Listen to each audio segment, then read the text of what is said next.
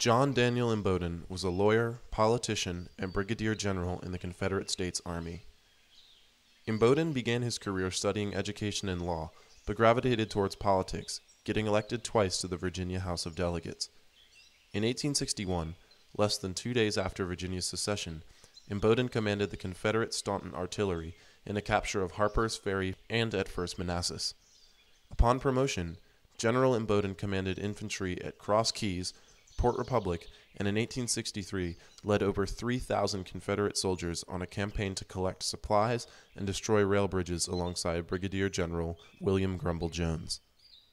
During the Confederate retreat from Gettysburg, General Imboden guarded a vital wagon train of supplies and wounded men against a large Union force. He also appeared at Charlestown, New Market, and the 1864 Valley campaigns. Following the war, he pursued law and business, dying at age 72 in 1895. General Imboden is buried in the Confederate Officers Section at Hollywood Cemetery.